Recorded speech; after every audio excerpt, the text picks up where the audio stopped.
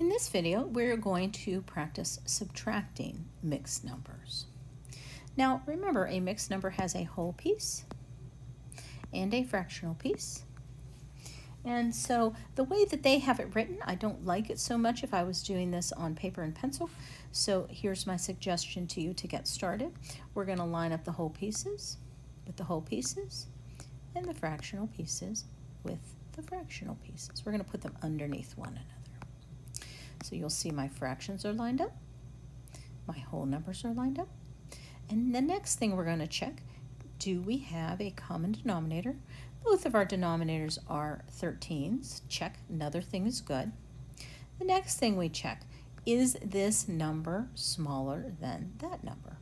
In any sort of subtraction that we're doing by hand, if the number here is not smaller than that number, then we have to fix that. We have to either borrow or, you know, decide if, if uh, you know, some other thing has to do happen to fix it. Well, in this case, what we're subtracting here, this 3, is uh, smaller than the 5, so we can proceed with the problem. Now that that's all fixed and we've checked all that out, we're just going to subtract the whole number pieces. 4 minus 3 is 1 and we're going to subtract the um, fractional pieces. Now remember how you subtract fractions. We are going to keep the bottom, so we already know that the bottom will have a 13 in it, and we are going to subtract the tops. 5 minus 3 is 2.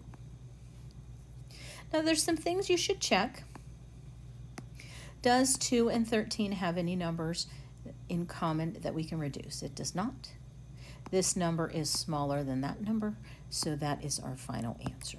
1 and 2 thirds is, or 13ths, I'm sorry. 1 and 2 thirteenths is our answer.